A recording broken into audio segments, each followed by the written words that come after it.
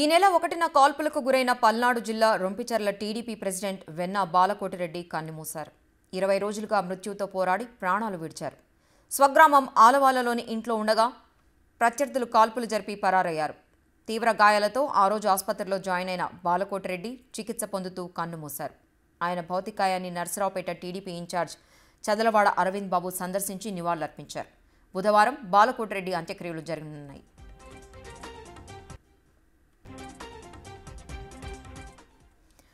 పమ్మి వెంకటేశ్వర్లు అనే వ్యక్తి బాలకోటిరెడ్డిపై తుపాకీతో రెండు రౌండ్లు కాల్పులు జరిపాడు. ఒక బుల్లెట్ పొట్ట ఎడమవైపు దూసుకు వెళ్ళింది. ఆ రోజు నుంచి చికిత్స పొందుతూ ఇవాళ పరిస్థితి విషమించి చనిపోయారు. బాలకోటిరెడ్డిపై కాల్పుల విషయంలో జిల్లా ఎస్పీ అప్పట్లోనే కీలక ప్రకటన చేశారు.